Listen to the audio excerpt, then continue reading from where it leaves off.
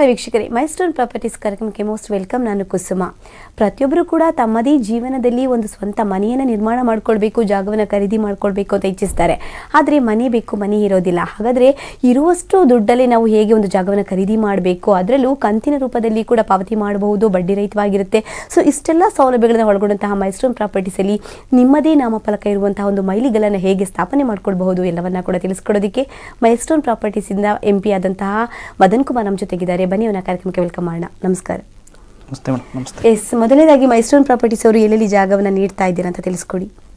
ಖಂಡಿತ. ಎಲ್ಲ ಸಮಸ್ತ ನಾಡಿನ ಜನತೆಗೆ ಮಹಾಶಿವರಾತ್ರಿ ಹಬ್ಬದ ಆರ್ಥಿಕ ಶುಭಾಶಯಗಳು ಹಾಗೂ ನ್ಯೂಸ್ ಸೈಟಿನ ಎಲ್ಲ ವೀಕ್ಷಕರಿಗೂ ಕೂಡ ಮಹಾಶಿವರಾತ್ರಿಯ ಶುಭಾಶಯಗಳು.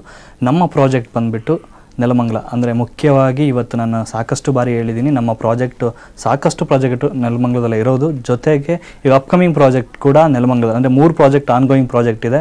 ಜೊತೆಗೆ ಇವಾಗ ಮೈಸ್ಟೋನ್ ಗ್ರಾವಿಟಿ ಅಂದರೆ ನೆಲಮಂಗಲದಿಂದ ಚಿಕ್ಕಮದುರೆ ಟುವರ್ಡ್ ದೊಡ್ಡಬಳ್ಳಾಪುರ ರೋಡ್ ಏನಿದೆ ಚಿಕ್ಕಮದುರೆ ದೇವಸ್ಥಾನದಿಂದ ವಾಕಬಲ್ ಡಿಸ್ಟೆನ್ಸಲ್ಲಿ ಮಾಡಿರುವಂಥ ಲೇಔಟು ಟ್ವೆಂಟಿ ತರ್ಟಿಗೆ ಅಂದರೆ ಈ ಶಿವರಾತ್ರಿ ಹಬ್ಬದ ಕೊಡುಗೆ ಅಂದ್ಬಿಟ್ಟು ನಾವು ನಾಲ್ಕು ಲಕ್ಷದ ಇಪ್ಪತ್ತೈದು ಸಾವಿರಕ್ಕೆ ಡಿ ಸಿ ರೆಸಿಡೆನ್ಷಿಯಲ್ ಕನ್ವರ್ಷನ್ ಸೈಟ್ನ ಆಫರ್ ಆಗಿ ಕೊಡ್ತಾ. ಈ ವಾರಕ್ಕೆ ಮಾತ್ರ. ಮತ್ತೆ ಜೊತೆಗೆ ನಿಮಗೆ ಸಾಕಷ್ಟು ಆಫರ್ಗಳು ಸಿಗುತ್ತೆ. ಅದ್ರ ಜೊತೆಗೆ ನೀವೇನಂದ್ರೆ ನಾನು ಗ್ರಾಹಕರು ನೇರವಾಗಿ ಹೇಳೋದೇನೆಂದ್ರೆ, ನೆಲಮಂಗಲದಲ್ಲಿ ಎಂತಕ್ಕೆ ಇನ್ವೆಸ್ಟ್ಮೆಂಟ್ ಮಾಡಬೇಕು, ಜೊತೆಗೆ ಆಫರ್ ಏನಿದೆ, ಈ ಶಿವರಾತ್ರಿ ಹಬ್ಬಕ್ಕೆ ನಮ್ಮ ಕಡೆಯಿಂದ ಇವಾಗ ಎಕ್ಸಾಂಪಲ್ ನಮ್ಮದು ಸೈಟ್ ವ್ಯಾಲ್ಯೂ ಬಂದ್ಬಿಟ್ಟು ಫೈಲ್ ಹಾಕಿದೆ ಈಗ ನಾಲ್ಕು ಲಕ್ಷದ ಇಪ್ಪತ್ತು ಅಂದರೆ ಎಪ್ಪತ್ತೈದು ಸಾವಿರನ ನಾವು ನೆಗೋಷಿಯಬಲ್ ಕೊಟ್ಟು ಡೈರೆಕ್ಟು ಟ್ವೆಂಟಿ ತರ್ಟಿಗೆ ನಾಲ್ಕು ಲಕ್ಷ, ನಾಲ್ಕು ಲಕ್ಷದ ಇಪ್ಪತ್ತೈದು ಸಾವಿರ ರೂಪಾಯಿ ಸಿಗಬೇಕು ಅಂದ್ಬಿಟ್ಟು, ಮತ್ತೆ ಸ್ಪಾಟ್ ಬುಕಿಂಗ್ ಮಾಡಿಕೊಂಡ್ರೆ ರಿಜಿಸ್ಟ್ರೇಷನ್ ಕಾಸ್ಟ್ ಫ್ರೀ ಇದೆ, ಮತ್ತೆ ಕಾಲು ಕೆ ಜಿ ಬೆಳ್ಳಿದೆ ತರ್ಟಿ ಫಾರ್ಟಿ ತೊಗೊಳೋರಿಗೆ ಅರ್ಧ ಕೆ ಜಿ ಬೆಳ್ಳಿದೆ ಅಂದರೆ ಇಷ್ಟು ಆಫರ್ಗಳನ್ನ ಕೊಡ್ತಾ ಇದ್ದೀವಿ ಗ್ರಾಹಕರನ್ನ ನೇರವಾಗಿ ಏನು ಹೇಳ್ತಿದ್ದೀನಿ ಅಂದರೆ ಬಂದು ಸ್ಪಾಟ್ ನೋಡಿ ಫಸ್ಟು ಅಂತ ಹೇಳಕ್ಕೆ ಇಷ್ಟಪಡ್ತೀನಿ. ಓಕೆ ಸೊ ಅದನ್ನ ಡಿ ಸಿ ಕನ್ವರ್ಷನ್ ಅಂತ ಕೂಡ ನೀವು ಅದನ್ನ ಹೇಳ್ತಾ ಇದ್ದೀರಾ? ಅಂದ್ರೆ ಡಿ ಸಿ ಕನ್ವರ್ಷನ್ ಏನಂತಂದ್ರೆ ಒಬ್ಬ ಸಾಮಾನ್ಯ ಜನರಿಗೆ ಅರ್ಥ ಆಗೋ ರೀತಿಯಲ್ಲಿ ಹೇಳ್ಬೇಕಂತಂದ್ರೆ ಯಾವ ರೀತಿ? ಮೇಡಮ್ ಈಗ ಡಿ ಸಿ ಕನ್ವರ್ಷನ್ ಸೈಟ್ಸ್ ಅಂದ್ರೆ ರೆಸಿಡೆನ್ಷಿಯಲ್ ಅಂದ್ರೆ ಮನೆ ಅಂತ, ಅಂದರೆ ಡೊಮೆಸ್ಟಿಕ್ ಅಂತ ಹೇಳ್ತೀವಿ. ಈಗ see D C conversion sites ಅಂದರೆ ಎಷ್ಟೋ ಜನಕ್ಕೆ ಗೊತ್ತೇ ಇಲ್ಲ. ಈಗ ಡಿ ಸಿ ಕನ್ವರ್ಷನ್ ಸೈಟ್ಸಿಗೆ ನಾನು ಏನಕ್ಕೆ ತೊಗೊಬೇಕು. ನಾನು ಸಾಕಷ್ಟು ಬಾರಿ ಹೇಳೋದೇನೆಂದರೆ ಫಸ್ಟು ನಮಗೆ ನಾಲೆಡ್ಜ್ ಇರಬೇಕು. ಅಂದರೆ ನಾನು ಒಂದು ಸೈಟ್ ತೊಗೊತಿದ್ದೀನಿ ಅಂದರೆ ಫಸ್ಟ್ ನಂಗೆ ನಾಲೆಡ್ಜ್ ಇರಬೇಕು. ಅದನ್ನ ತಿಳ್ಕೊಳ್ದೇ ನಾವು ಇನ್ವೆಸ್ಟ್ಮೆಂಟ್ ಮಾಡಿದ್ರೆ, ಏನಂದರೆ, ಈಗ ಫೈಲೂರ್ ಅಂದರೆ, ಈಗ ಎಕ್ಸಾಂಪಲ್ ನಾವು ಮೋಸ ಹೋಗ್ತೀವಿ ಅಂತ ಹೇಳ್ತೀವಲ್ಲ ಸಿ ಅದ್ರ ಬಗ್ಗೆ ತಿಳ್ಕೊಳ್ದೇ ನಾನು ಇನ್ವೆಸ್ಟ್ಮೆಂಟ್ ಮಾಡಿದ್ರೆ ಖಂಡಿತ ನಮಗೆ ಫೇಲ್ಯೂರ್ ಆಗೇ ಆಗ್ತೀವಿ. ಸಿ ಈಗ ರೆಸಿಡೆನ್ಷಿಯಲ್ ಸೈಟ್ಸು ಕನ್ವರ್ಷನ್ ಸೈಟ್ಸ್ ತೊಳೋದ್ರಿಂದ ನಿಮಗೆ ಲೋನ್ ಆಗುತ್ತೆ. ಮತ್ತೆ ಮನೆ ಕಟ್ಟೋದಕ್ಕೆ ಲೋನ್ ಆಗುತ್ತೆ, ಮತ್ತೆ ನಿಮ್ಗೆ ಯಾವುದೇ ರೀತಿ ಪ್ರಾಬ್ಲಮ್ ಅಲ್ಲ ಮತ್ತೆ ಈ ಖಾತಾ ಪ್ರಾಜೆಕ್ಟ್ ಇದು ಎಲೆಕ್ಟ್ರಾನಿಕ್ ಖಾತಾ ಪ್ರಾಜೆಕ್ಟ್ ಅಂದ್ರೆ ಎಲೆಕ್ಟ್ರಾನಿಕ್ ಖಾತಾ ಅಂದ್ರೆ ಕಂಪ್ಯೂಟರೈಸ್ಡ್ ಖಾತಾ ಅಂತ ಹೇಳ್ತೀವಿ. ಕಂಪ್ಯೂಟರೈಸ್ಡ್ ಅಂದ್ರೆ ನಿಮಗೆ ಬರವಣಿಗೆ ರೂಪದಲ್ಲಿ ಸಿಗೋಲ್ಲ. ಕಂಪ್ಯೂ ಅಂದ್ರೆ ನಿಮ್ಮ ಫೋಟೋ ಮತ್ತೆ ಕಂಪ್ಲೀಟ್ ಡೀಟೇಲ್ಸ್ ಏನ್ ಬರುತ್ತೆ? ನಿಮ್ಮ ಲೇಔಟ್ ಡೀಟೇಲ್ಸ್ ಆಗ್ಬೋದು. ಕಂಪ್ಲೀಟ್ ಡೀಟೇಲ್ಸ್ ಅಂದ್ರೆ ನಿಮ್ಮ ತಮ್ಮ ಇಂಪ್ರೆಷನ್ ಫೋಟೋ ಸಿಗ್ನೇಚರ್ ಎಲ್ಲ ಕಂಪ್ಯೂಟರೈಸ್ಡ್ ಬರೋದ್ರಿಂದ ಏನಾಗುತ್ತೆ? ನಿಮ್ಗೆ ಯಾವುದೇ ರೀತಿ ಫೇಕ್ ಆಗಲ್ಲ. ಇಲ್ಲಿ ಏನಂದ್ರೆ ನಂಬಿಕೆ ಇಟ್ಟು ತಗೋಬಹುದು ಜೊತೆಗೆ ಕನ್ವರ್ಷನ್ ಸೈಟ್ಸ್ ಈ ಬಜೆಟ್ಗೆ ನಿಮ್ಗೆ ಎಲ್ಲೂ ಕೂಡ ಸಿಗಲ್ಲ. ಮತ್ತೆ ಸ್ಪಾಟ್ ಬುಕಿಂಗ್ ಮಾಡ್ಕೊಂಡ್ರೆ ಈ ಶಿವರಾತ್ರಿಗೆ ರಿಜಿಸ್ಟ್ರೇಷನ್ ಕಾಸ್ಟ್ ಫ್ರೀ ಕೊಡ್ತಾ ಇದೀವಿ.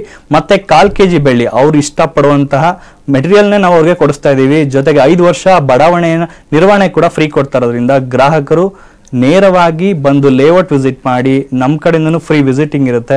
ಖಂಡಿತ ನಿಮ್ಗೆ ಇಷ್ಟು ಆಫರ್ ಈ ಶಿವರಾತ್ರಿ ಹಬ್ಬಕ್ಕೆ ತಗೊಳ್ಳಿ ಅಂತ ಹೇಳಕ್ ಇಷ್ಟಪಡ್ತೀನಿ. ಕೇವಲ ಒಂದು ವಾರಕ್ಕೆ ಮಾತ್ರ ಮೀಸಲು. ಖಂಡಿತ. ಅಂದ್ರೆ ಇವತ್ತು ನಾಳೆ ನಾಡಿದ ಅಂದ್ರೆ ಭಾನುವಾರದ ಒಳಗಡೆ ಬಂದು ಯಾರು ಬುಕ್ ಮಾಡ್ಕೋತಾರೆ ಅವ್ರಿಗೆ ಮಾತ್ರ ಈ ಆಫರ್ ಇರುತ್ತೆ ಅಂತ ಹೇಳಕ್ ಇಷ್ಟಪಡ್ತೀನಿ. ಎಸ್ ಶಿವರಾತ್ರಿಯ ಪ್ರಯುಕ್ತ ಒಂದು ಹೊಸ ಸುದ್ದಿಯನ್ನೇ ಕೊಡ್ತಾ ಇದ್ದೀರಾ? ಓಕೆ ಹಾಗಾದ್ರೆ ಟ್ವೆಂಟಿ ತರ್ಟಿ ನಾಲ್ಕು ಕಾಲು ಲಕ್ಷಕ್ಕೆ ಸಿಗ್ತಾ ಇದೆ ಅನ್ನೋದಾದ್ರೆ so fine like fifty percent amount pay ಮಾಡಿದ್ಮೇಲೆ ಉಳಿದ ಫಿಫ್ಟಿ ಪರ್ಸೆಂಟ್ ಪೇ ಮಾಡಬೇಕು ಅಂತಂದ್ರೆ ಇ ಎಂ ಐ ಫೆಸಿಲಿಟೀಸ್ ಹೇಗಿದೆ ಮತ್ತೆ ಇಂಟ್ರೆಸ್ಟ್ ರಹಿತವಾಗಿರುತ್ತಾ ಹೇಗೆ?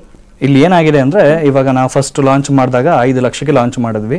ಸಿ ಏನಾದ್ರು ಗ್ರಾಹಕರು ಸ್ವಲ್ಪ, ಅಂದ್ರೆ ಬಜೆಟ್ ಜಾಸ್ತಿ ಅಂತ ಹೇಳಿದಾಗ ನಾವು ಓಕೆ ಅವ್ರಿಗೆ ಈಗ ಒಂದು ಒಂದು ಒಳ್ಳೆ ಬಜೆಟ್ ಅಲ್ಲಿ ಕೊಡೋಣ ಅಂತ ಈಗ ನಾಲ್ಕು ಲಕ್ಷದ ಇಪ್ಪತ್ತೈದು ಸಾವಿರ ಕೊಡ್ತಾ ಇದ್ವಿ. ಮತ್ತೆ ಬ್ಯಾಂಕ್ ಲೋನ್ ಕೂಡ ಮಾಡಿಸ್ಕೊಡ್ತಾ ಇದ್ವಿ. ಬಟ್ ಏನಂದ್ರೆ ಈಗ ಬ್ಯಾಂಕ್ ಲೋನ್ ಕೇಳೋರಿಗೆ ಬ್ಯಾಂಕ್ ಲೋನ್ ಮಾಡಿಸ್ಕೊಡ್ತಾ ಇದ್ವಿ. ಕೆಲವು ಗ್ರಾಹಕರು ಏನ್ ಹೇಳ್ತಾರೆ ಸರ್, ನಮ್ಗೆ ಅಟ್ಲೀಸ್ಟ್ ಸ್ವಲ್ಪ ಟೈಮ್ ಕೊಡಿ ಅಂತ ಕೇಳ್ಕೊಂಡಾಗ, ಇದಕ್ಕೆ ಆಕ್ಚುಲಿ ನಾವು ಇ ಎಂ ಐ ಕೊಡ್ತಿರ್ಲಿಲ್ಲ. ಬಟ್ ಕೇಳ್ಕೊಂಡಾಗ ನಾವು ಹನ್ನೆರಡು ತಿಂಗಳು ಇ ಎಂ ಐನ ಈ ಪ್ರಾಜೆಕ್ಟ್ಗೆ ಸ್ಪೆಷಲಿ ಕೊಡ್ತಾ ಇದೀವಿ ಸಿಕ್ಸ್ಟಿ ಪರ್ಸೆಂಟ್ ಕೊಟ್ಟರೆ ಇದಕ್ಕೂ ಕೂಡ ರಿಜಿಸ್ಟ್ರೇಷನ್ ಮಾಡಿಸ್ಕೊಡ್ತಾ ಇದೀವಿ. ಹನ್ನೆರಡು ತಿಂಗಳು ಟೈಮ್ ಇರೋದ್ರಿಂದ ಗ್ರಾಹಕರು ಇನ್ನು ಸಿಕ್ಸ್ಟಿ ಫಾರ್ಟಿ ಪರ್ಸೆಂಟ್ ಏನಿರುತ್ತೆ ಲಂಪ್ಸಮ್ ಆಗಿ ಅವರು ಟ್ವೆಲ್ ಮಂತಲ್ಲಿ ಕ್ಲಿಯರ್ ಮಾಡಿಕೊಂಡು ಅವ್ರು ನೆಕ್ಸ್ಟ್ ಏನಿದೆ ಫರ್ದರ್ ಮೂವ್ ಆಗ್ಬೋದು ಅಂತ ಹೇಳಕ್ ಇಷ್ಟಪಡ್ತೀನಿ. ಟ್ವೆಲ್ ಮಂತ್ಸ್ ನೀವು ಗಡುವು ನೀಡ್ತಾ ಇದ್ದೀರಾ ಅವ್ರಿಗೆ? ಅಂತಂದ್ರೆ ಸೊ ಎಷ್ಟು ಉಳಿದಂತ ಇದನ್ನ ಕಂತಿನ ರೂಪದಲ್ಲಿ ಕಟ್ಟಬೇಕು ಅನ್ನೋದಾದ್ರೆ.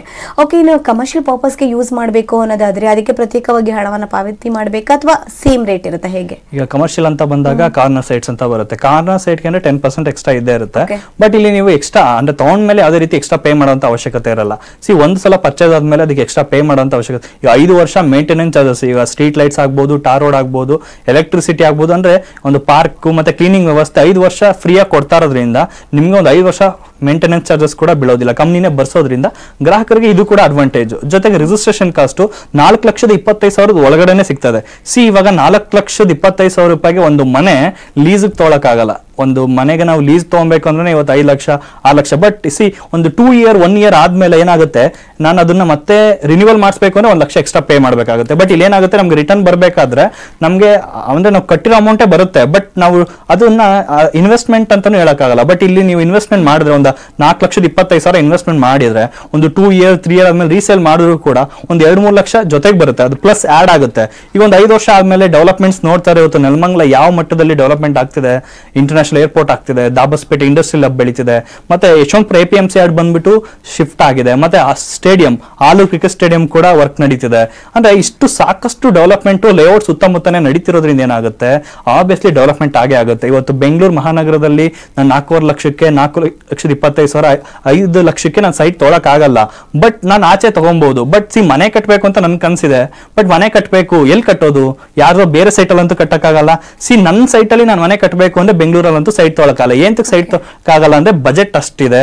ಸಿ ಇವತ್ತು ನಾವು ಬಂದು ನೆಲಮಂಗಲದಲ್ಲಿ ಇನ್ವೆಸ್ಟ್ಮೆಂಟ್ ಮಾಡಿದ್ರೆ ಇವತ್ತು ನಾರ್ತ್ ಕರ್ನಾಟಕ ನಾರ್ತ್ ಇಂಡಿಯಾದ ಹೆಬ್ಬಾಗಿಲು ಅಂತಾನೆ ಕರಿಬಹುದು ನೆಲಮಂಗಲ. ಸಿ ನೆಲಮಂಗಲ ಈ ತರ ಇಷ್ಟು ಡೆವಲಪ್ಮೆಂಟ್ ಆಗ್ತಾ ಇರೋದ್ರಿಂದ ಖಂಡಿತ ನೀವು ಇನ್ವೆಸ್ಟ್ಮೆಂಟ್ ಮಾಡಿದ್ರೆ ಒಳ್ಳೆ ರಿಟರ್ನ್ಸ್ ಅಂತೂ ಬರುತ್ತೆ ಅಂತ ಗ್ರಾಹಕರಿಗೆ ನೇರವಾಗಿ ಹೇಳಕ್ಕೆ ಇಷ್ಟಪಡ್ತೀನಿ. ಓಕೆ ಇನ್ನು ದೃಶ್ಯಗಳಲ್ಲಿ ನೋಡ್ತಾ ಇದೀವಿ, ಏನೋ ಸಮಥಿಂಗ್ ಗಿಫ್ಟ್ ಅನ್ನ ನೀಡ್ತಾ ಇದ್ದೀರಾ? ಸೊ ಹಾಗಾಗಿ ರಿಜಿಸ್ಟ್ರೇಷನ್ ಸಮಯದಲ್ಲಿ ಕೊಡುವಂತಹ ಗಿಫ್ಟ್ ನೀವು, ಅಂದ್ರೆ ಯಾವ ಮಾತನ್ನ ಹೇಳ್ತಾ ಇದೀರಾ ಇವಾಗ? ಸೊ ಕಾಲ್ ಕೆಜಿ ಬೆಳ್ಳಿ ಆಗ್ಬೋದು ಹಾಫ್ ಕೆಜಿ ಬೆಳ್ಳಿ ಆಗ್ಬೋದು ಸೊ ಅದನ್ನ ಯಾವ ಟೈಮಲ್ಲಿ ನೀಡುವಂಥದ್ದು, ಹೇಗೆ ಆಫರ್ ಖಂಡಿತ ಮೇಡಮ್ ಇವಾಗ ಏನಾಗುತ್ತೆ ಟ್ವೆಂಟಿ ಟ್ವೆಂಟಿ ತೊಗೊಳೋರ್ಗೆ ನಾವು ಕಾಲು ಕೆ ಜಿ ಬೆಳ್ಳಿ ಕೊಡ್ತಾ ಇದೀವಿ. ತರ್ಟಿ ಫಾರ್ಟಿ ತೊಗೊಳೋರ್ಗೆ ಅರ್ಧ ಕೆ ಜಿ ಬೆಳ್ಳಿ ತೋ ಈಗ ಫಾರ್ಟಿ ಸಿಕ್ಸ್ಟಿ ತೊಗೊಳೋರ್ಗೆ ಒಂದು ಕೆಜಿ ಬೆಳ್ಳಿನ ಆಫರ್ ಆಗಿ ಕೊಡ್ತಾ ಇದೀವಿ. ಫಾರ್ಟಿ ಪರ್ಸೆಂಟ್ ಅಮೌಂಟ್ ಪೇ ಮಾಡಿದ್ಮೇಲೆ ಅವ್ರದ್ದು ಅಗ್ರಿಮೆಂಟ್ ದಿವಸ ಅವ್ರಿಗೆ ಬೆಳ್ಳಿನ ಅವ್ರು ಇಷ್ಟಪಟ್ಟಂಥ ವಸ್ತುಗಳು ಇಲ್ಲ ಅವರೊಂದು ವಿಗ್ರಹ ಇಷ್ಟಪಡ್ಬೋದು ಅವರೊಂದು ಬೆಳ್ಳಿ ಏನು ಇಷ್ಟಪಡ್ತಾರೆ ಅವ್ರನ್ನೇ ಕರ್ಕೊಂಡು ಹೋಗಿ ಶಾಪಿಂಗ್ ಮಾಡಿ ಅವ್ರಿಗೆ ಯಾವ್ದು ಇಷ್ಟ ಬರುತ್ತೆ ಆ ಮೆಟೀರಿಯಲ್ನೇ ಕೊಡಿಸ್ತೀವಿ. ಇಲ್ಲಿ ಯಾವ್ದು ಬಿಸ್ಕೆಟ್ಸ್ ಆಗಲಿ ಈಗ ಸಿಲ್ವರ್ ಬಿಸ್ಕೆಟ್ಸ್ ಆಗಲಿ ಈ ರೀತಿ ಯಾವುದೇ ರೀತಿ ಕೊಡ್ತಾ ಇಲ್ಲ. ಅವ್ರಿಗೆ ಏನು ಇಷ್ಟ ಸಿ ಮೈ ಸ್ಟೋನ್ ಫ್ಯಾಮಿಲಿ ಇದೊಂದು ಫ್ಯಾಮಿಲಿ ಅಂತ ಬಂದ್ಮೇಲೆ ಸಿ ನಮ್ಮ ಒಳಗಡೆ ಅವರು ಒಂದ್ಸಲ ಎಂಟ್ರಿ ಆದ್ಮೇಲೆ see we are like family ಅಂದ್ರೆ ಗ್ರಾಹಕರು ಒಂದು ಸಲ ಬರೋವರೆಗೂ ಅಷ್ಟೇ. ಬಂದ್ಮೇಲೆ ಎನ್ವೈರ್ಮೆಂಟ್ ನೋಡಿದಾಗ ಅವ್ರೆ ಕನ್ವರ್ಟ್ ಆಗೇ ಆಗ್ತಾರೆ. ಸಿ ಫ್ಯಾಮಿಲಿ ತರ ಇದ್ದಾಗ ನಾವು ಅವರಲ್ಲಿ ಒಬ್ಬರಾಗ್ತೀವಿ ಸಿ ಅವಾಗ ಏನಾಗುತ್ತೆ, ಈ ತರ ಬಾಂಡಿಂಗ್ ಬೆಳೆಯುತ್ತೆ. ಈಗ ರೆಫರೆನ್ಸ್ ಎಷ್ಟೋ ಜನ ಹೇಳ್ತಾರೆ, ಒಬ್ರು ನಮ್ಮಲ್ಲಿ ಒಂದು ಸೈಟ್ ತೊಗೊಂಡಿರೋರು ಇವತ್ತು ಹತ್ತು ಸೈಟ್ ವರೆಗೂ ತೊಗೊಂಡಿದ್ದಾರೆ. ಫ್ಯಾಮಿಲಿ ಅವರೇ.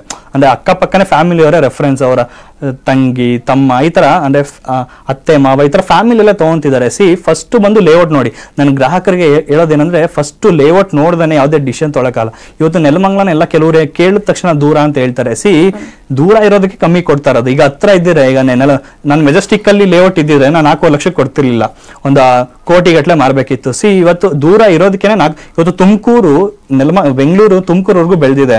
ಇವತ್ತು ನೆಲಮಂಗ್ಲ ಅದ್ರ ಮಿಡಲ್ ಅಲ್ಲಿ ಇದೆ ಈಸಿಯಾಗಿ ಬರ್ಬೋದು. ನೀವು ಹೆಂಗೆ ಅಂದ್ರೆ ಒಂದು ಗೊರಗುಂಟೆಪಾಳ್ಯ ಫ್ಲೇವರ್ ಹತ್ರ ನಾನು ಸಾಕಷ್ಟು ಬಾರಿ ಹೇಳ್ತಿದ್ದೀನಿ. ಝೀರೋ ಟ್ರಾಫಿಕ್ ಅಲ್ಲಿ ನೀವು ನೆಲಮಂಗಲ ರೀಚ್ ಆಗ್ಬೋದು. ಝೀರೋ ಟ್ರಾಫಿಕ್ ಝೀರೋ ಪೊಲ್ಯೂಷನ್ ಇದೆ. ಮತ್ತೆ ರೋಡ್ ತುಂಬ ವೈಡ್ ಇರೋದ್ರಿಂದ ನಿಮ್ಗೆ ಐವತ್ತು ವರ್ಷ ಹೋದ್ರು ಕೂಡ ಅಲ್ಲಿ ಟ್ರಾಫಿಕ್ ಸಮಸ್ಯೆ ಬರಲ್ಲ. ಮೇಜರ್ ಆಗಿ ಇವತ್ತು ಅಂದ್ರೆ ಬೆಂಗಳೂರಿನ ಯಾರು ಪ್ಲಾನ್ ಮಾಡಿರಲಿಲ್ಲ ಬಟ್ ನೆಲಮಂಗ್ಲನ್ನ ತುಂಬಾ ಪ್ಲಾನ್ ಮಾಡಿ ಮಾಡ್ತಿದ್ದಾರೆ. ಸಿ ಅಂದ್ರೆ ವಾಟರ್ ಅಂದ್ರೆ ಈಗ ಎತ್ತಿನ ಒಳ್ಳೆ ಪ್ರಾಜೆಕ್ಟ್ ಬರ್ತಾ ಇದೆ. ವಾಟರ್ ಇಶ್ಯೂ ಬರಬಾರ್ದು ಅಂತ, ಮತ್ತೆ ಟ್ರಾಫಿಕ್ ಇಶ್ಯೂ ಬರಬಾರ್ದು ಅಂತ ರೋಡ್ಗಳು ವೈಡ್ ಮಾಡ್ತಿದ್ದಾರೆ.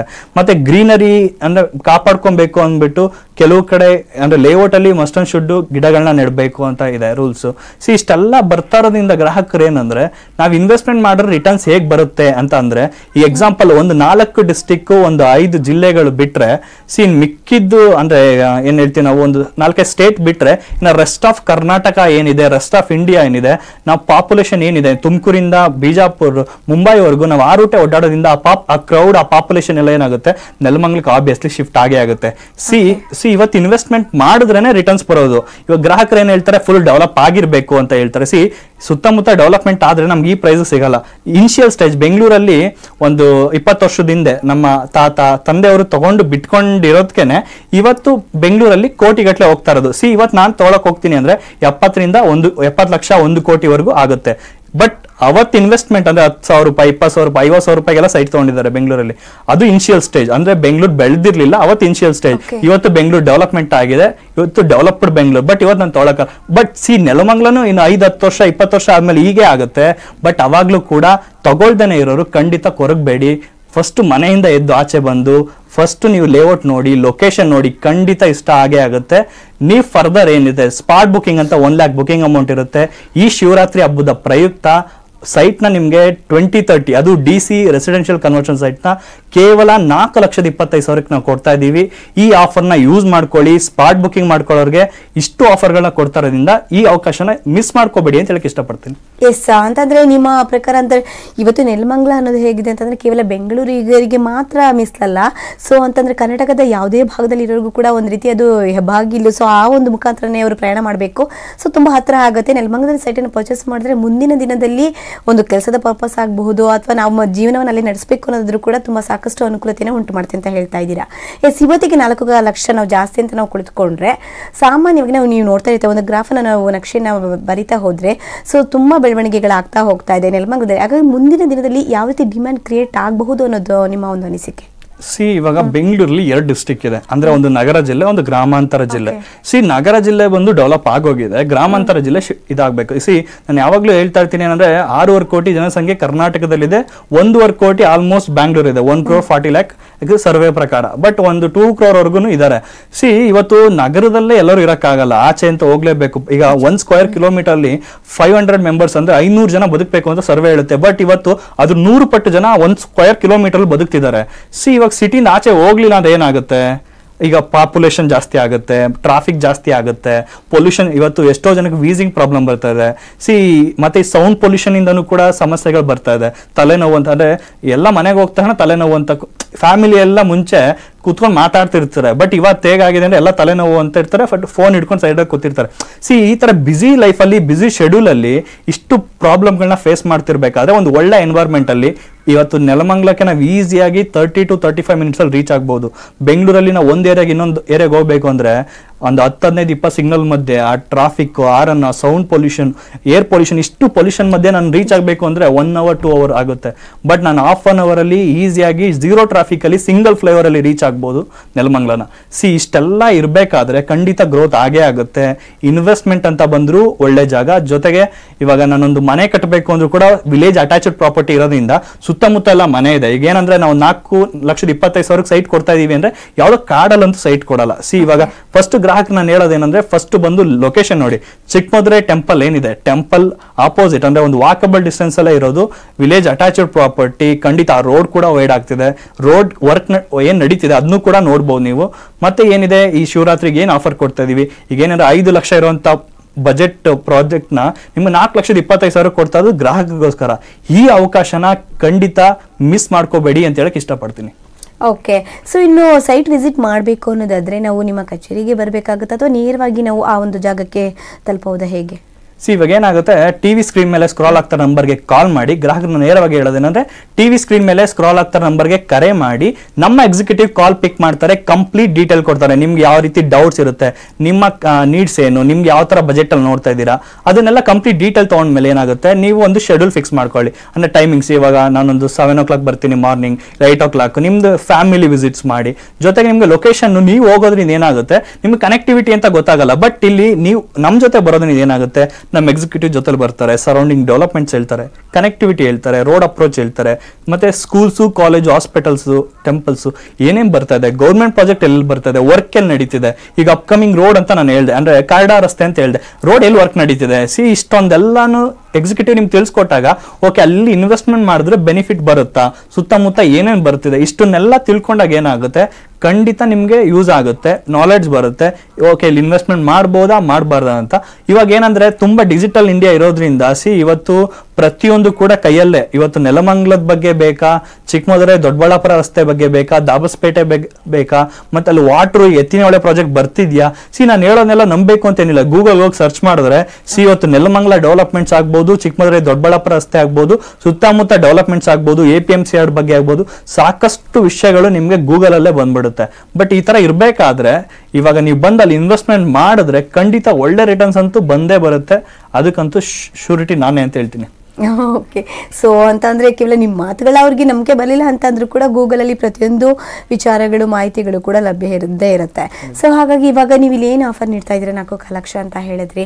ಸೊ ತರ್ಟಿ ಫಾರ್ಟಿಗೆ ಕೂಡ ಅವರು ಕೆಲವೊಬ್ರು ತಗೊಳ್ಬೇಕು ಅಂತ ಆಸೆ ಪಡ್ತಾರೆ. ಈ ಡೈಮೆನ್ಷನ್ಸ್ ಬೇಡ ಬೇರೆ ಡೈಮೆನ್ಷನ್ಸ್ಗೆ ಹೋಗ್ಬೇಕು ಅಂತಂದ್ರೆ ರೇಟ್ ಹೇಗಿರುತ್ತೆ? ಖಂಡಿತ ಮೇಡಮ್ ಇವಾಗ ಏನಂದ್ರೆ ಸ್ಕ್ವೇರ್ ಫೀಟ್ ನಿಮಗೆ ಅಂದ್ರೆ ಇವಾಗ ಟ್ವೆಂಟಿ ತರ್ಟಿ ತಗೊಂಡ್ರೆ ಆಬ್ವಿಯಸ್ಲಿ ಸ್ವಲ್ಪ ರೈಸ್ ಆಗುತ್ತೆ. ಬಟ್ ಈಗ ತರ್ಟಿ ಫಾರ್ಟಿ ಅಂತ ಬಂದಾಗ ಎಂಟೂವರೆ ಲಕ್ಷ ರೂಪಾಯಿ ಅಮೌಂಟ್ ಆಗುತ್ತೆ. ಇವಾಗ ನಿಮ್ಗೆ ಅರ್ಧ ಕೆಜಿ ಬೆಳ್ಳಿ ಸಿಗುತ್ತೆ. ರಿಜಿಸ್ಟ್ರೇಷನ್ ಕಾಸ್ಟ್ ಸಾವಿರಾರು ರೂಪಾಯಿ ಆಗುತ್ತೆ. ಅದು ಕೂಡ ಫ್ರೀ ಸಿಗುತ್ತೆ ಇನ್ಕ್ಲೂಡಿಂಗ್ ಇದೆ. ಮತ್ತೆ ಬೆಳ್ಳಿ ಆಫರ್ ಸಿಗ್ತಾ ಇರೋದ್ರಿಂದ ಗ್ರಾಹಕರು ಈ ಶನಿವಾರ, ಭಾನುವಾರಕ್ಕೆ ಈ ಎರಡು ದಿನಗಳಿಗೆ ಮಾತ್ರ ಆಫರ್ ಇರೋದು. ಮತ್ತೆ ನೀವು ನೆಕ್ಸ್ಟ್ ವೀಕ್ ಬಂದು ನಾನು ಇದೇ ರೇ ಇದೇ ಪ್ರೈಸ್ ಕೊಡಿ ಅಂದ್ರೆ ದಯವಿಟ್ಟು ಕೂಡ ಕೊಡೋಕ್ಕಾಗಲ್ಲ. ಯಾಕೆಂದ್ರೆ ಇವಾಗ ಇದು ಐದು ಲಕ್ಷ ಪ್ರಾಜೆಕ್ಟ್ ನಾನು ಅವಾಗಲೇ ಹೇಳ್ದಂಗೆ ಲಾಸ್ಟ್ ವೀಕ್ ಕೂಡ ನಾವು ಇದು ಪ್ರಾಜೆಕ್ಟ್ ಲಾಂಚ್ ಮಾಡಿದ್ದು. ಲಾಸ್ಟ್ ವೀಕ್ ನಾವು ಐದು ಲಕ್ಷಕ್ಕೆ ಲಾಂಚ್ ಮಾಡಿದ್ದು. ಬಟ್ ಏನಂದ್ರೆ ಒಂದು ಶಿವರಾತ್ರಿ, ಮಹಾಶಿವರಾತ್ರಿ ಹಬ್ಬಕ್ಕೆ ಮೈಸ್ಟೋನ್ ಪ್ರಾಪರ್ಟೀಸ್ ಇಂದ ಒಂದು ಕೊಡುಗೆ ಕೊಡಬೇಕು ಗ್ರಾಹಕರಿಗೆ ಅಂತ ಹೇಳ್ಬಿಟ್ಟು ನಾಲ್ಕು ಲಕ್ಷದ ಇಪ್ಪತ್ತೈದು ಸಾವಿರ ರೂಪಾಯಿಗೆ ನಾವು ಕೊಡ್ತಾ ಇದೀವಿ. ಸ್ಪಾಟ್ ಬುಕಿಂಗ್ ಮಾಡ್ಕೊಳ್ಳೋರಿಗೆ ರಿಜಿಸ್ಟ್ರೇಷನ್ ಕಾಸ್ಟ್ ಕೂಡ ಫ್ರೀ ಕೊಡ್ತಾ ಇದೀವಿ.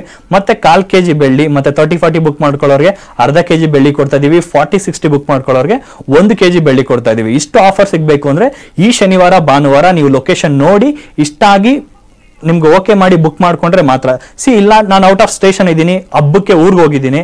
ಇಲ್ಲ ನಾನು ನೆಕ್ಸ್ಟ್ ವೀಕ್ ಬರ್ತೀನಿ ಬಟ್ ಈ ವೀಕ್ ನನ್ಗೆ ಆಫರ್ ಬೇಕು ಅಂದ್ರೆ ಆನ್ಲೈನ್ ಥ್ರೂ ಕೂಡ ಬುಕಿಂಗ್ ಮಾಡ್ಕೋಬೋದು ನೀವು ಬ್ರೋಚರ್ಸ್ ಇಲ್ಲ ನಿಮ್ದು ಏನ್ ಕಂಟೆಂಟ್ ಬೇಕು ಡೀಟೇಲ್ಸ್ ಬೇಕು ನಿಮ್ಗೆ ಏನೇನು ಡೀಟೇಲ್ಸ್ ಬೇಕು ಸೆಂಡ್ ಮಾಡ್ಕೊಂಡು ನೀವು ಆನ್ಲೈನ್ ಥ್ರೂ ಕೂಡ ಬುಕ್ ಮಾಡ್ಕೋಬೋದು ನೆಕ್ಸ್ಟ್ ವೀಕ್ ಬಂದು ವಿಸಿಟ್ ಮಾಡಿ ನೆಕ್ಸ್ಟ್ ಫರ್ದರ್ ಏನಿದೆ ಕಂಟಿನ್ಯೂ ಮಾಡ್ಬೋದು ಅಂತ ಹೇಳಕ್ ಇಷ್ಟಪಡ್ತೀನಿ. ಇನ್ನು ಪರ್ಟಿಕ್ಯುಲರ್ ಆಗಿ ಈ ಫೇಸಿಂಗ್ ಬೇಕು ಅನ್ನೋರ್ಗೂ ಕೂಡ ಏನಾದರೂ ಸಪ್ರೇಟ್ ಅಮೌಂಟ್ ಪೇ ಮಾಡಬೇಕಾಗತ್ತಾ? ಯಾವ ರೀತಿ ಸರ್ ಇಲ್ಲಿ ಎಕ್ಸ್ಟ್ರಾ ಅಮೌಂಟ್ ಅಂತ ಏನಿಲ್ಲ ನಾನು ಅವಾಗಲೇ ಹೇಳ್ದಂಗೆ ಕಾರ್ನರ್ ಸೈಟ್ಗೆ ಮಾತ್ರ ಟೆನ್ ಪರ್ಸೆಂಟ್ ಇರುತ್ತೆ. ನಿಮಗೆ ಕಾರ್ನರ್ ಸೈಟ್ ಬೇಡ ಅಂದ್ರೆ ನೀವು ಈಸ್ಟ್ ನಾರ್ತ್ ವೆಸ್ಟ್ ಸೌತ್ ಯಾವುದೇ ಫೇಸಿಂಗ್ ತೊಗೊಂಡ್ರು ಕೂಡ ಇಲ್ಲಿ ಯಾವುದೇ ರೀತಿ ಎಕ್ಸ್ಟ್ರಾ ಅಂದ್ರೆ ಈಗ ಒಂದು ಈಸ್ಟ್ ಫೇಸಿಂಗ್ ತಗೊಳ್ಳೋರಿಗೆ ಫೈವ್ ಪರ್ಸೆಂಟ್ ಎಕ್ಸ್ಟ್ರಾ ಅಂತ ಹೇಳ್ತಾರೆ ನಾರ್ತ್ ಫೇಸಿಂಗ್ ತಗೊಳ್ಳೋರಿಗೆ ಕೆಲವು ಕಡೆ ಫೈವ್ ಪರ್ಸೆಂಟ್ ಎಕ್ಸ್ಟ್ರಾ ಅಂತಾರೆ. ಇಲ್ಲಿ ಯಾವುದೇ ನೀವು ಲೇಔಟ್ ಅಲ್ಲಿ ಯಾವುದೇ ಸೈಟ್ನ ತಗೊಂಡ್ರೆ ಕಾರ್ನರ್ ಸೈಟ್ ಬಿಟ್ಟು ನೀವು ಯಾವುದೇ ಸೈಟ್ನ ತಗೊಂಡ್ರು ಕೂಡ ನಿಮ್ಗೆ ಯಾವುದೇ ರೀತಿ ಎಕ್ಸ್ಟ್ರಾ ಅಮೌಂಟ್ ಅಂತ ಪೇ ಅಂದರೆ ಟ್ವೆಂಟಿ ತರ್ಟಿಗೆ ಈ ಶನಿವಾರ ಭಾನುವಾರ ನಾಲ್ಕು ಲಕ್ಷದ ಇಪ್ಪತ್ತೈದು ಸಾವಿರನೇ ಇರುತ್ತೆ. ತರ್ಟಿ ಫಾರ್ಟಿಗೆ ಎಂಟೂವರೆ ಲಕ್ಷ ಎಂಟು ಲಕ್ಷದ ಐವತ್ತು ಸಾವಿರ ರೂಪಾಯಿ ಹಾಗೆ ಇರುತ್ತೆ.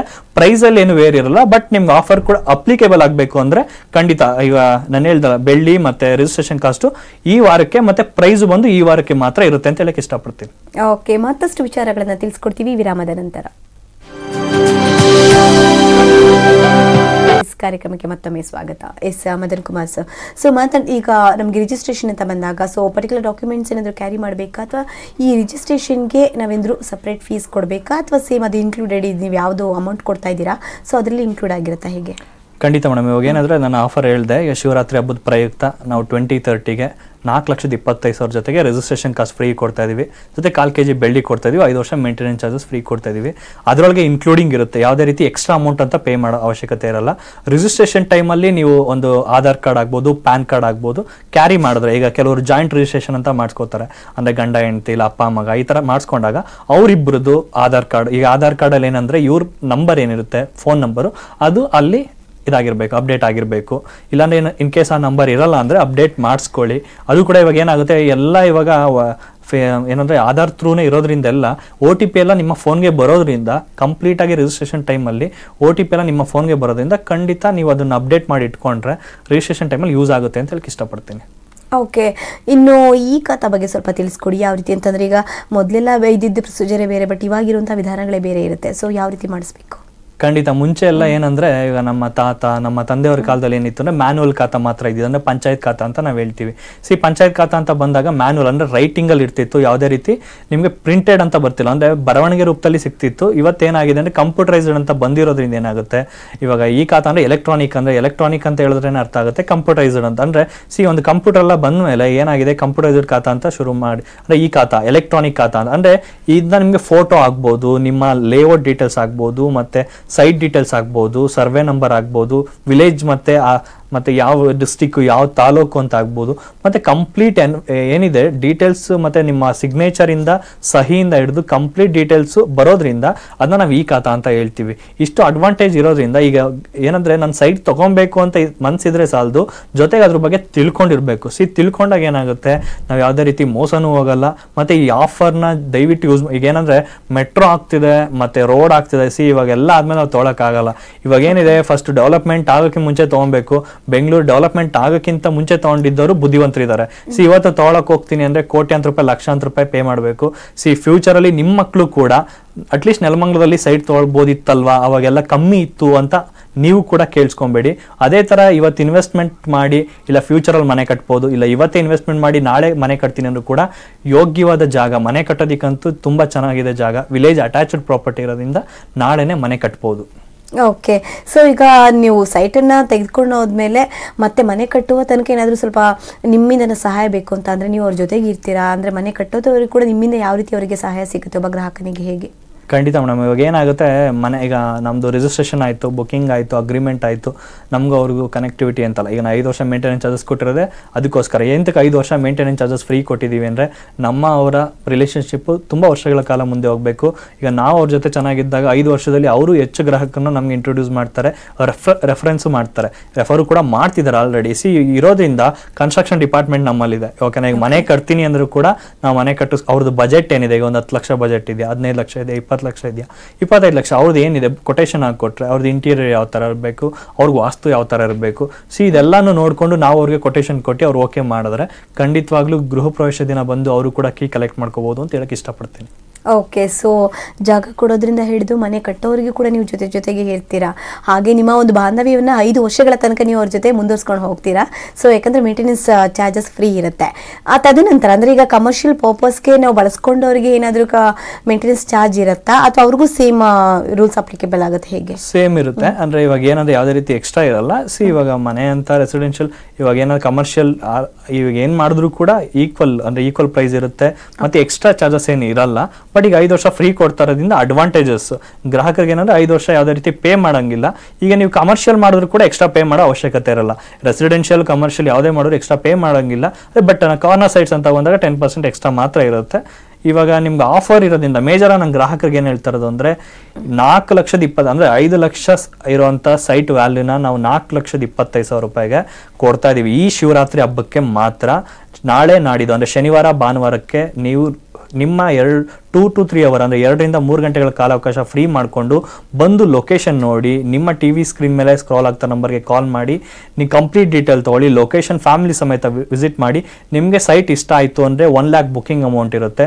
ಬುಕಿಂಗ್ ಮಾಡಿಕೊಂಡ್ರೆ ನಿಮಗೆ ಒನ್ ವೀಕ್ ಟೈಮ್ ಇರುತ್ತೆ ಅಗ್ರಿಮೆಂಟ್ ಮಾಡ್ಕೊಳ್ಳೋಕ್ಕೆ ಇಲ್ಲ ten days one week time ಕೊಡ್ತೀವಿ. ಅಗ್ರಿಮೆಂಟ್ ಆದಮೇಲೆ ನಿಮಗೆ three month four month time ಕೊಡ್ತೀವಿ ರಿಜಿಸ್ಟ್ರೇಷನ್ ಮಾಡ್ಕೊಳ್ಳೋಕ್ಕೆ ಇಲ್ಲ, ನನಗೊಂದು ಟೆ ಟ್ವೆಲ್ ಮಂತ್ ಹನ್ನೆರಡು ತಿಂಗಳು ನನಗೆ ಇ ಎಂ ಐ ಹೋಗ್ತೀನಿ ಸಿಕ್ಸ್ಟಿ ಪರ್ಸೆಂಟ್ ಪೇ ಮಾಡ್ತೀನಿ ಅಂದ್ರೂ ಕೂಡ ನಾವು ಈಗ ಹನ್ನೆರಡು ತಿಂಗಳು ಲಂಸಮ್ ಆಗಿ ಕೂಡ ಕ್ಲಿಯರ್ ಮಾಡ್ಕೋಬಹುದು ಇಷ್ಟು ಕೂಡ ಕಂಪನಿ ಫ್ಲೆಕ್ಸಿಬಲ್ ಆಗಿದೆ. ಜೊತೆಗೆ ಬ್ಯಾಂಕ್ ಲೋನ್ ಕೂಡ ಫೆಸಿಲಿಟೀಸ್ ಇರೋದ್ರಿಂದ ಗ್ರಾಹಕರು ಯಾವುದೇ ರೀತಿ ಅಂದ್ರೆ ಇವಾಗ ಒಂದು ಒಂದು ಚೀಟಿ ಅಮೌಂಟ್ ಅಂತ ಬರೋದಿರುತ್ತೆ ಎಫ್ ಡಿ ಅಮೌಂಟ್ ಅಂತ ಇರುತ್ತೆ ಮ್ಯೂಚುವಲ್ ಫಂಡ್ ಅಂತ ಇರುತ್ತೆ. ಸಿ ಇದನ್ನೆಲ್ಲ ಯಾವುದೋ ಒಂದು ಸೇವಿಂಗ್ಸ್ ಅಂತ ಮಾಡ್ತಿರ್ತೀರ. ಬಟ್ ಆ ಸೇವಿಂಗ್ಸ್ನ ಯಾರಿಗೋ ಕೊಟ್ಟು ವೇಸ್ಟ್ ಮಾಡೋಕ್ಕಿಂತ, ಎಲ್ಲೋ ಇಟ್ಟು ವೇಸ್ಟ್ ಮಾಡೋಕ್ಕಿಂತ, ಯಾವುದೋ ಒಂದು ಕಾರ್ ಮೇಲೋ ಒಂದು ಇದ್ರ ಮೇಲೆ ಹಾಕಿ ಇನ್ವೆಸ್ಟ್ಮೆಂಟ್ ಮಾಡಿ ವೇಸ್ಟ್ ಮಾಡೋಕ್ಕಿಂತ ಒಂದು ಭೂಮಿ ಮೇಲೆ, ಅಂದ್ರೆ ಭೂಮಿ ತಾಯಿ ನಮ್ದವ್ರನ್ನ ಯಾರು ಕೈ ಬಿಡಲ್ಲ ಅಂತ ಹೇಳ್ತಾರೆ. ಸಿ ಭೂಮಿ ಮೇಲೆ ಇನ್ವೆಸ್ಟ್ಮೆಂಟ್ ಮಾಡಿದವರು ಯಾವತ್ತೂ ಕೂಡ, ಅಂದ್ರೆ ಅಂದ್ರೆ ರೈತರಿಂದ ಹಿಡಿದು ಪ್ರತಿಯೊಬ್ಬರು ಕೂಡ ಎಲ್ಲರೂ ಗ್ರೋತ್ ಆಗೇ ಆಗಿದ್ದಾರೆ. ಅಂದ್ರೆ ಪ್ರತಿ ಅಂದ್ರೆ, ಪ್ರತಿದಿನನೂ ಹೈಕ್ ಆಗ್ತಾನೆ ಇರುತ್ತೆ. ಸಿ ಡೆವಲಪ್ಮೆಂಟ್ ಆಗ್ತಿದೆ ಅಂದಮೇಲೆ ಹೈಕ್ ಆಗಿ ಆಗುತ್ತೆ. ಇವತ್ತು ಮೆಟ್ರೋ ಆಗ್ತಿದೆ ಮೆಟ್ರೋ ಆದ್ಮೇಲೆ ಈಗ ಮೆಟ್ರೋ ವರ್ಕ್ ನಡೀತಿದೆ. ಕಂಪ್ಲೀಟ್ ನೆಲಮಂಗ್ಲದವರೆಗೂ ಬಂದ್ಬಿಡ್ತು ಅಂದ್ರೆ ನಾನು ತೊಗೊಳಕ್ಕಾಗಲ್ಲ ಮತ್ತೆ ರೋಡ್ ಆಗ್ತಿದೆ. ಇವಾಗ ಏನಂದ್ರೆ, ನಾನು five hundred metres Chikkamadure Doddaballapura temple ಏನಿದೆ ಟೆಂಪಲ್ ಇಂದ